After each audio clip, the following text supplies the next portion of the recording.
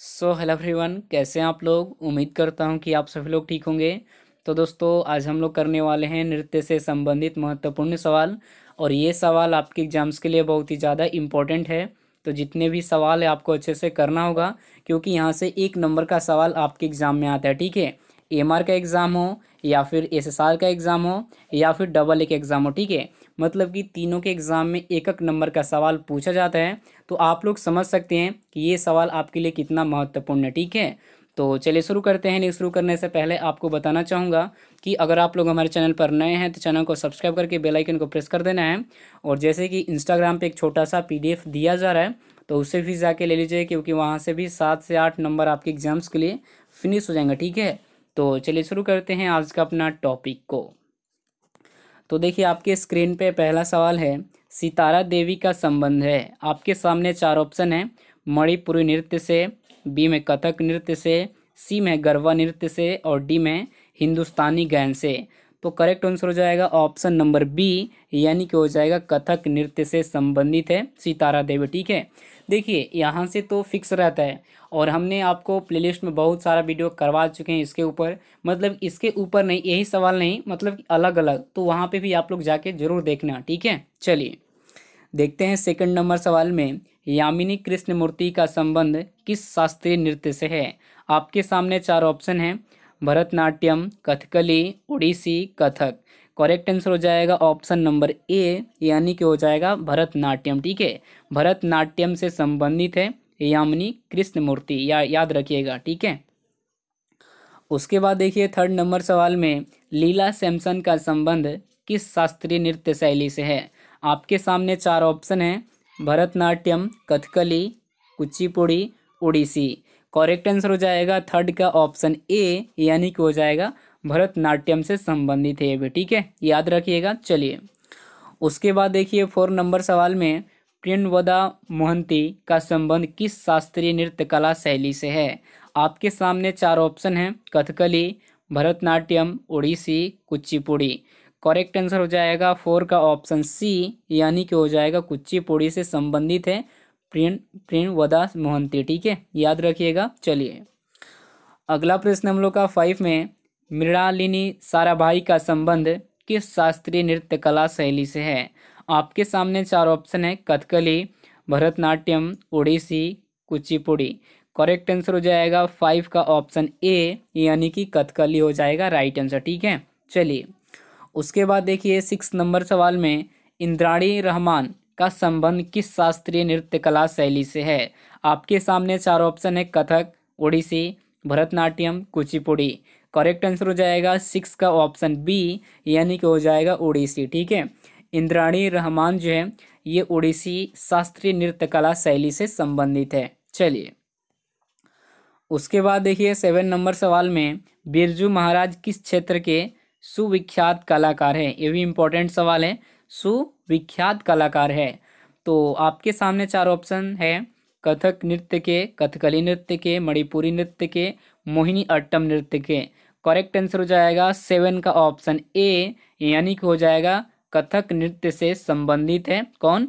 बिरजू महाराज, जो कि ये सुविख्यात कलाकार है। याद रखिएगा सेवन का ऑप्शन नंबर क्या हो जाएगा? ऑप्शन नंबर ए हो जाएगा कथक नृत्य से। हमने शायद भी बताया ना? गलत हो, बी नहीं होगा।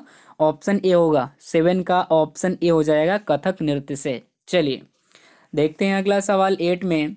शोभना नारायण किस शास्त्रीय नृत्य शैली से संबंधित है? कथकली, भरतनाट्यम, मणिपुरी, कथक। एट का हो जाएगा ऑप्शन डी, यानी कि हो जाएगा कथक। ठीक है? ऑप्शन डी हो जाएगा, शोभ, शोभना नारायण किस शास्त्रीय नृत्य शैली से संबंधित है? तो कथक से याद रखिएगा। जितने भी ये सवाल है, सारा का सारा इम्पोर्टेंट है, इसमें कोई एक भी सवाल मतलब हटाने वाला नहीं है। इसमें कि लगभग लगभग जितने भी सवाल हैं, सारा का सारा इम्पोर्टेंट है आपके एग्ज़ाम्स के लिए। चलिए। एट का ऑप्शन डी हो जाएगा। अगला प्रश्न है नाइन में, रागिनी देवी किस शास्त्रीय नृत्य शैली से संबंधित है? भरतनाट्यम, कुचिपुड़ी, मोहिनीअट्टम, कथकली। करेक्ट आंसर हो जाएगा नाइन का ऑप्शन सी यानी कि हो जाएगा मोहिनी अट्टम। ठीक है, याद रखिएगा इंपॉर्टेंट सवाल है। अगला प्रश्न हम लोग का टेन में, पद्मा सुब्रह, सुब्रह्मण्यम किस शास्त्रीय नृत्य शैली से संबंधित है? किस शास्त्रीय नृत्य शैली से संबंधित है? भरतनाट्यम, कुचिपुड़ी, कथक, ओडिसी। टेन का हो जाएगा ऑप्शन ए यानी कि हो जाएगा भरतनाट्यम से संबंधित है। चलिए। अगला प्रश्न है, इलेवन में यामिनी कृष्ण मूर्ति किस शास्त्रीय नृत्य की ख्यात, ख्याति प्राप्त नृत्यांगना है? ये भी इम्पोर्टेंट सवाल है, क्योंकि ये सवाल एम आर के एग्ज़ाम में पिछली बार पूछा गया था। भरतनाट्यम, कुचिपुड़ी उपयुक्त दोनों इनमें से कोई नहीं। सही उत्तर हो जाएगा इलेवन का ऑप्शन सी यानी कि हो जाएगा उपयुक्त दोनों। भरतनाट्यम, कुचिपुड़ी, याद रखिएगा। चलिए।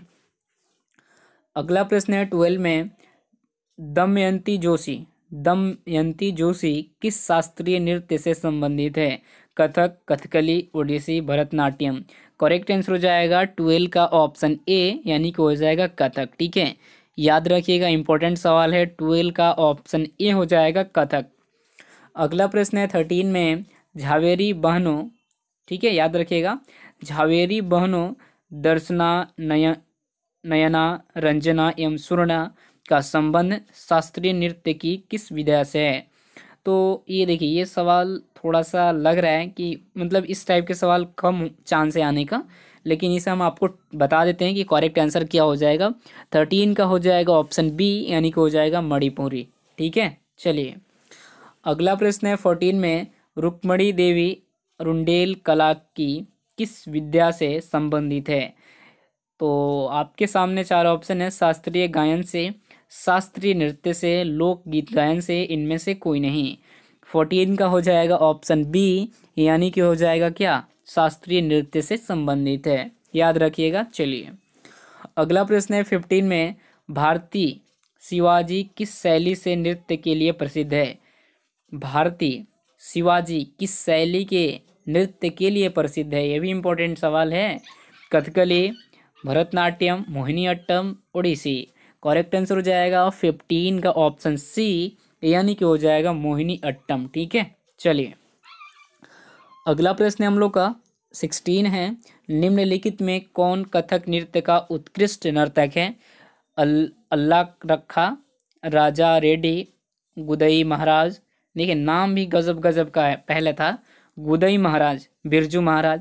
करेक्ट आंसर हो जाएगा सिक्सटीन का ऑप्शन डी, यानी कि हो जाएगा बिरजू महाराज, ठीक है? कौन कथक नृत्य का उत्कृष्ट नर्तक है? तो बिरजू महाराज है, ठीक है? ऑप्शन डी पे टिक कर दीजिएगा एग्ज़ाम में, चलिए।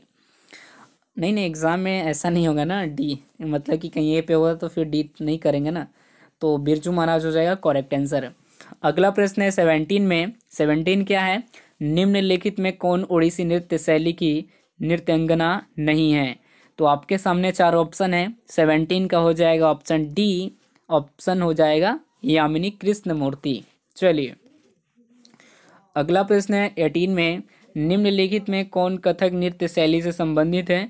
गोपी कृष्ण, आनंद शिव रामन सोनल मानसिंह और डी में भारती शिवाजी। करेक्ट आंसर हो जाएगा एटीन का ऑप्शन ए यानी कि हो जाएगा क्या? गोपी कृष्ण। याद रखिएगा। चलिए अगला प्रश्न है, नाइनटीन में कथकली के मुख्य प्रेरणा केंद्र है। तो करेक्ट आंसर हो जाएगा नाइनटीन का ऑप्शन सी यानी कि हो जाएगा महाकवि वलतोल। ठीक है, वलतोल, याद रखिएगा। अगला प्रश्न है, ट्वेंटी में निम्नलिखित में कौन भरतनाट्यम की विख्यात नृत्यंगना नहीं है? नृत्यंगना नहीं है तो देखिए, ये भी सवाल इंपॉर्टेंट है। करेक्ट आंसर हो जाएगा ट्वेल्व का ऑप्शन डी यानी कि हो जाएगा झावेरी बहने। याद रखिएगा। चलिए। अगला प्रश्न है ट्वेंटी वन में, मात्र सोलह वर्ष की आयु में किस नृत्यंगना को गुरुदेव रविंद्रनाथ टैगोर ने सॉरी रविंद्रनाथ ठाकुर होगा ना यहाँ पे। सॉरी रविंद्रनाथ ठाकुर ने कथक सामग्री कहकर गौरवान्वित किया था। तो ये भी इम्पोर्टेंट सवाल है। देखिए, ऐसे सवाल है ना, थोड़ा सा ध्यान से करना होगा। तो करेक्ट आंसर हो जाएगा ट्वेंटी वन का ऑप्शन ए सितारा देवी, ठीक है?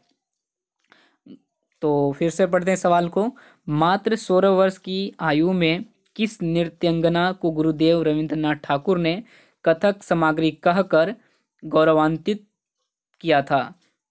करेक्ट आंसर हो जाएगा क्या? सितारा देवी। चलिए ट्वेंटी वन का हो जाएगा। उसके बाद देखिए, यहाँ पे आपका है टेस्ट इस टेस्ट को ज़रूर देना। सुमेलित कीजिए। भरतनाट्यम, यहाँ पे शास्त्रीय नृत्य है और यहाँ पे नर्तक, नर्तकी दिया गया है। तो मिलान कर लीजिएगा। आपको मैंने तो ऊपर सारा चीज़ करवा दिया कि यामिनी मूर्ति जो है कहाँ संबंधित, किससे संबंधित है, भरतनाट्यम कैसे होगा, जो भी होगा आप मिलान करके आप बताएँगे। लेकिन इसका मैं, आप इसका स्क्रीनशॉट ले लो फटाफट, जल्दी से ले लो ट्वेंटी टू ले लो। इसका मैं करेक्ट आंसर बता देता हूँ कुछ सेकंड बाद, लेकिन खुद से प्रयास करना एक बार। पहले क्या करके स्क्रीनशॉट लेके, फिर मिलान कर लेना, उसके बाद यहाँ पे हमें ऑप्शन बता देता हूँ आपको कौन सा होगा। ट्वेंटी टू का हो जाएगा, ऑप्शन ए हो जाएगा, ठीक है? याद रखिएगा। ऑप्शन ए हो जाएगा। चलिए, उसके बाद देखिए ट्वेंटी थ्री में इसको भी सुमेलित करना है। तो इसको भी सुमेलित कर लीजिएगा, स्क्रीनशॉट लेके, फटाफट ले ले स्क्रीनशॉट। ट्वेंटी थ्री का हो जाएगा ऑप्शन सी, यानी कि हो जाएगा ये, ठीक है? चलिए, अगला प्रश्न है ट्वेंटी फोर में। ट्वेंटी फोर सुमिलित कर लीजिएगा, क्योंकि जो हमने पढ़ाया, वही चीज़ यहाँ पे अब आपको मिलान करना है, बस और कुछ नहीं। तो ट्वेंटी फोर का हो जाएगा ऑप्शन ए, यानी कि हो जाएगा ये, ठीक है? चलिए, बस लास्ट ये है ट्वेंटी फाइव। ट्वेंटी फाइव का हो जाएगा ऑप्शन बी, यानी कि हो जाएगा टिक, ठीक है? इस पर मिलान कर लेना है कि बी जो है, इसका करेक्ट आंसर क्या होगा? आप इस टाइप से मिलान कर लीजिएगा, ठीक है? उसके बाद देखिए ट्वेंटी सिक्स में अच्छन महाराज का क्षेत्र है। वाद संगीत, नृत्य, पेंटिंग, लेखन। करेक्ट आंसर हो जाएगा ट्वेंटी सिक्स का ऑप्शन नंबर बी यानी कि हो जाएगा नृत्य, ठीक है? ट्वेंटी सिक्स का हो जाएगा ऑप्शन बी नृत्य। अगला प्रश्न है ट्वेंटी सेवन में बिम्बावती देवी किस प्रकार के नृत्य के लिए सुविख्यात हैं? मणिपुरी, भरतनाट्यम, कुचिपुड़ी उड़ीसी करेक्ट आंसर हो जाएगा ऑप्शन ए यानी कि हो जाएगा मणिपुरी से, ठीक है? तो ये रहा आज का हमारा ट्वेंटी सेवन सवाल। अगर आपको किसी भी सवाल में डाउट जैसा लगा होगा तो कमेंट सेक्शन में पूछ लेना होगा। मैं नेक्स्ट पार्ट में ज़रूर बता दूँगा आपको कि भाई मैंने यहाँ पे गलती किया था और शायद गलती हो गया होगा, लेकिन मेरे तरफ़ से तो मैंने तो आपको सारा चीज़ सही बताया क्योंकि भाई गलती पढ़ाने से तो कुछ फ़ायदा ही नहीं। ये सबसे पहले आप दिमाग में निकाल लीजिएगा कि आप लोग सोच रहे होगे कि सर गलती, अरे भाई गलती इतनी बड़ी ऑडियंस मुझे लेकर चलना है और हम गलती करेंगे, ऐसा आप लोग सोच सकते हो, कभी नहीं हो सकता हमसे। तो ये चीज़ है, ठीक है? थोड़ा सा उसी में माइनस कर लेना होगा कि थोड़ा सा हो गया तो कोई दिक्कत नहीं। आप एक बार गूगल पे जाना सर्च करना, क्या दिक्कत है? सर्च करने में कुछ पैसा लगेगा नहीं, बस जो भी आप नेट खर्चा लगेगा, ठीक है? तो जाके अपना सर्च करके सवाल को डेली देखना है, पढ़ना है, मन से करना है। बस मिलते हैं एक और वीडियो में, तब तक के लिए अपना ख्याल रखिएगा। Thank you so much bye bye take care all the best